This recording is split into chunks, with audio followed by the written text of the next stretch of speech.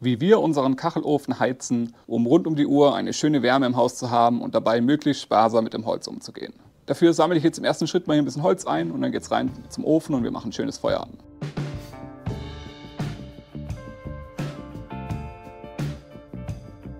Wir heizen hauptsächlich mit Hartholz, Buche und Esche. Und Hartholz funktioniert eigentlich am besten für die Methode, die ich euch jetzt mal zeige. Im ersten Schritt wird hier einfach Holz reingestapelt, so viel wie passt. Einfach nebeneinander legen. Also richtig schön voll stapeln. Oben kann man noch so kleinere Stücke hinmachen, weil da wird jetzt nämlich angezündet. Ein kleiner Tipp, wenn eure Scheiben verrußt sind, wie bekommt man die ganz einfach sauber? Dann nehmt euch einfach ein Küchentuch oder was ihr habt, bisschen nass machen und ein bisschen Asche dran. Hier so ein ganz bisschen und dann einfach Scheibe putzen. Das funktioniert echt super. Und dann habt ihr das im Nu wieder sauber. Seht ihr, das geht. 1A. Schon fertig.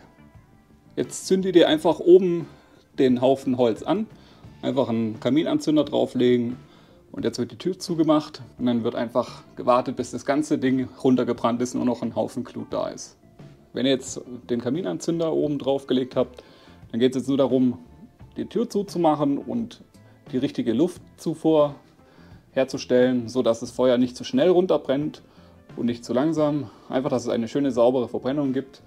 Das seht ihr daran, wenn irgendwie Qualm bei den Flammen dabei ist, dann ist es zu wenig Luft, dann müsst ihr die Tür ein bisschen weiter aufmachen oder eure Luftregulation. Und falls es zu lodernd brennt und man das Gefühl hat, es brennt zu schnell runter, dann macht ein bisschen weniger Luft und dann seid ihr auf einem guten Weg.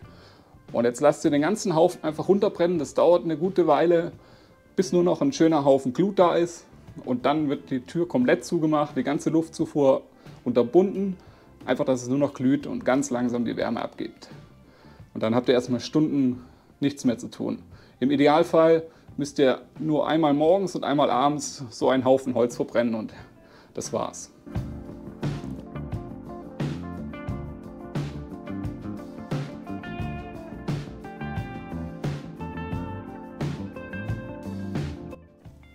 Jetzt sind wir an dem Punkt angekommen, wo das komplette Holz verbrannt ist und nur noch zu Glut geworden ist.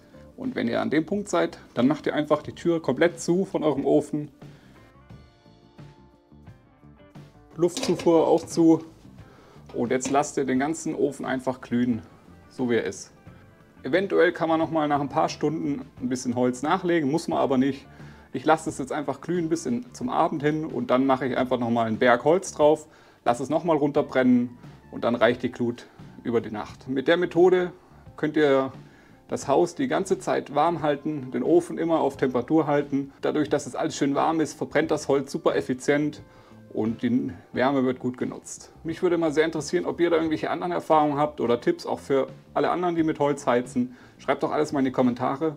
Vor allem würde mich mal interessieren, wie das sich mit Nadelholz verhält, weil da habe ich noch nicht so viel Erfahrung. Ich heize immer nur mit Hartholz, ich habe aber noch ganz viel Nadelholz. Und da würde mich mal interessieren, ob das auch funktioniert mit der Methode, weil das ja schon eine andere Charakteristik hat vom, vom Brennen her. Kann man einen Kachelofen mit Nadelholz sinnvoll beheizen oder macht es eher im Kamin Sinn? Also gerne alle Erfahrungen in die Kommentare. Ich bin auch kein Experte im Heizen. Ich mache das einfach so, wie ich es jetzt euch gezeigt habe. Ich lerne auch gern dazu. Wenn ihr da irgendwelche Ergänzungen habt, schreibt doch alles in die Kommentare. Danke fürs Zuschauen. Bis zum nächsten Video. Ich freue mich. Ciao.